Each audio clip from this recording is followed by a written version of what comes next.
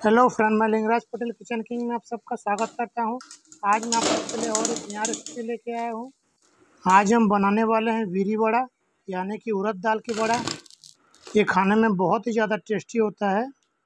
मैं आज इसको जिस तरीके से बनाने वाला हूँ, आप इसको एक बार बना के ज़रूर ट्राई कीजिएगा। तो फिर चलिए दोस्तों, आज की ये बड़ा की रेसिपी को बनाना स्टार्ट करते हैं। ये देखिए, ये है उड़द दाल। इसको हमने छः घंटा पहले ही भिगो के रख दिया था। अभी अच्छी तरह से फूल गया है। अभी हम इसमें से सारा पानी को छान लेंगे।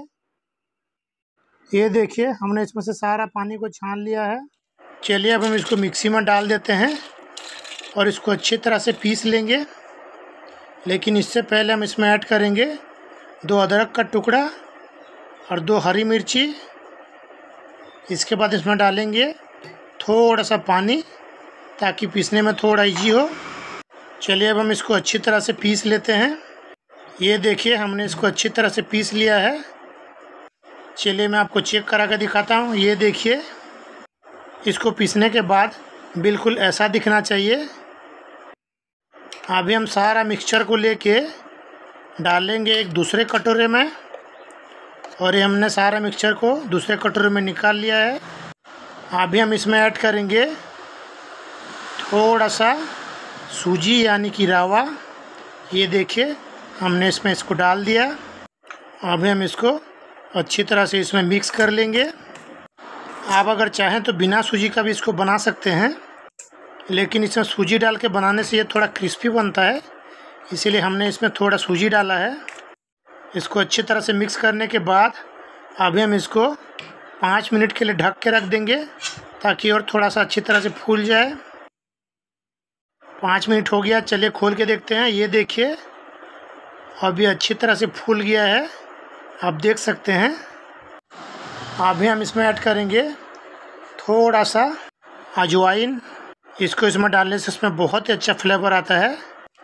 अभी हम इसको हाथों से अच्छी तरह से फेंट लेंगे, ताकि अच्छी तरह से थोड़ा फ्लॉफी हो जाए और अच्छी तरह से थोड़ा फूल भी जाए। इसको थोड़ी देर ऐसे ही फेंटने के बाद अब हम इसमें डालेंगे थोड़ा सा नमक, स्वाद अनुसार। चलिए, अब हम इसको भी इसमें अच्छी तरह से मिला के और एक बार फेंट लेते हैं। अभी हमारा बीरी का मिक्सचर एकदम सॉफ्ट और फ्लफी हो गया है। चलिए, मैं आपको चेक करा के दिखाता हूँ। ये देखिए, आप जब भी इसको चेक करें, ऐसे पानी में डालें। अगर ये पानी में तैरने लगे तो परफेक्ट है। और ये हमने थोड़ा सा प्याज पहले ही काट के रखा था। अभी हम प्याज को इसमें डाल देंगे और ऊपर से डालेंगे खूब सारा कड़ी पत्ता। अभी हम प्याज और कड़ी पत्ता को भी इसमें अच्छी तरह से मिक्स कर लेंगे और इसको मिक्स करने के बाद तुरंत इसको फ्राई करेंगे। ये हमारा तेल भी गर्म हो गया है। अभी हम हाथों में लगाएँगे थोड़ा सा पानी और इसके बाद लेंगे थोड़ा सा वीरी दाल का मिक्सचर और इसको अच्छी तरह से ऐसे गोल कर लेंगे। अभी हम दोनों हाथों में ऐसे इसको दबा के इसका बीच में ऐसा गोल बनाएँगे और इसको ऐसे उंगली से पकड़ के लेके इसको तेल में डाल देंगे। अभी मैं सेम प्रोसीजर में और एक बार आपको करके दिखा रहा हूँ। ये देखिए, पहले हम बीरी दाल को लेके इसमें ऐसे होल करेंगे और इसको लेके तेल में डाल देंगे। आप जब भी इसको फ्राई करें, पहले गैस को हाई फ्लो पर रखें, उसके बाद मीडियम फ्लो पर कर दें और इसको थोड़ी देर फ्राई करने के बाद ये देखिए, इसमें बहुत ही अच्छा कलर आ गया है और अच्छी तरह से फ्राई हो गया है। चलिए अब हम इसको प्लेट में निकाल लेते हैं। ये बहुत ही क्रिस्पी बना है। अभी हम सेम प्रोसीजर में फिर एक बार हाथों में पानी लगा के थोड़ा सा वीरी का मिक्सचर लेके ऐसे गोल करके सेम टू सेम इसको लेके तेल में डाल देंगे। और इसी तरह एक एक करके हमें सारा बड़ा को फ्राई कर लेना है। हमने फ़र्स्ट बैच में दो बड़ा को फ्राई किया था और सेकंड बैच में चार बड़ा को फ्राई कर रहे हैं। इसको भी थोड़ी देर ऐसे फ्राई करने के बाद जब इसमें अच्छा कलर आ जाएगा, इसको निकाल देंगे। ये देखिए, इसमें अच्छा कलर आ गया है और अच्छी तरह से फ्राई हो गया है। चलिए अब हम इसको भी प्लेट में निकाल लेते हैं।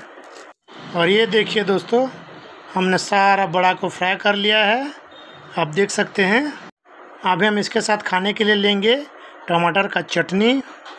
आप चाहे तो इसके साथ और कोई भी चटनी ले सकते हैं।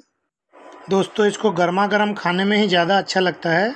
चलिए, मैं आपको चेक करा के भी दिखा देता हूँ। ये अंदर से कितना सॉफ्ट बना है और बाहर से कितना क्रिस्पी। ये देखिए, आप इसको जब चटनी के साथ खाएँगे तो मज़ा आ जाएगा। दोस्तों, आज का ये मेरा बड़ा का रेसिपी आपको कैसा लगा, मुझे कमेंट करके ज़रूर बताइएगा। तो फिर मिलते हैं हमारा नेक्स्ट वीडियो में। Thanks for watching my video